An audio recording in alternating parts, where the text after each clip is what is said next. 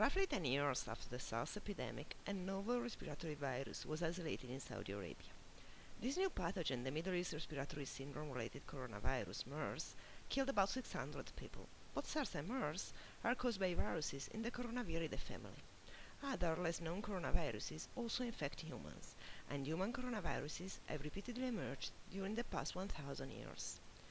The six human coronaviruses belong to different lineages and are closely related to animal viruses. In fact, most of them originated in bats and were transmitted to humans either directly or indirectly. This implies that coronaviruses have an alarming propensity for host jumps. Coronavirus genomes are unusually long and complex. They encode a fixed number of proteins that are necessary for the basic viral functions, as well as a variety of so-called accessory proteins. Several studies have shown that during their evolution, coronavirus genomes have lost and acquired genes. For instance, early in the human epidemic, SARS coronavirus acquired a signature deletion which split ORF8 into two functional ORFs. We analyzed ORF8 in human, civet, and bat viruses that carry an intact gene, and we showed that relaxation of natural selection in ORF8 occurred during the shift from bats to civets and humans. These results suggest that ORF8 is necessary for infection in bats, but dispensable in the human and civet host. Recent studies showed that some accessory proteins were stolen from a mammalian host to serve the virus purposes. This is the case of phosphodiesterases, enzymes that some viruses use to block the host immune response.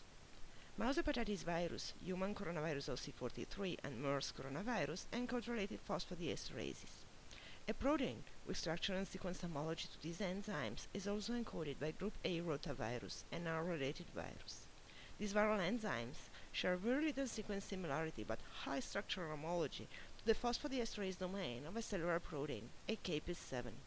This observation suggests that coronaviruses and rotaviruses have independently acquired phosphodiesterase activities and that AKP7 served as the source gene in both viral genera.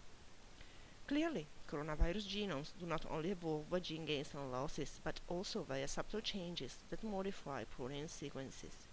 The spike proteins exposed on the viral surface have attracted great interest, as they most likely represent the major determinants of host tropism. Spike proteins have adapted to use diverse cellular receptors, and there is no congruence in the phylogeny of coronaviruses and their receptor usage. SARS coronavirus and human coronavirus NL63 use ACE2 as a receptor. However, the receptor binding domains show no sequence or structural similarity.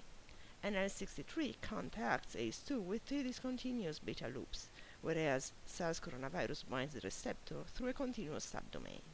Strikingly, TGF, which is phylogenetically related to NL63, uses two regions corresponding to the NL63 beta loops to bind a distinct cellular receptor, aminopeptidase N.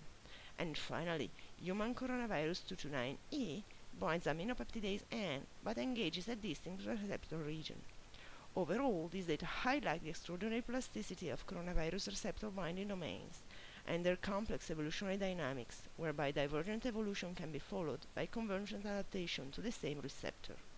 In conclusion, coronavirus genomes display high plasticity in terms of gene content. Moreover, the long coronavirus genome expands the sequence space available for adaptive mutation, and the spike protein can adapt to exploit different cellular receptors. Efforts to identify the viral genetic determinants that favor interspecies transmission should be regarded as an effective strategy to prepare for the future emergence of human coronaviruses.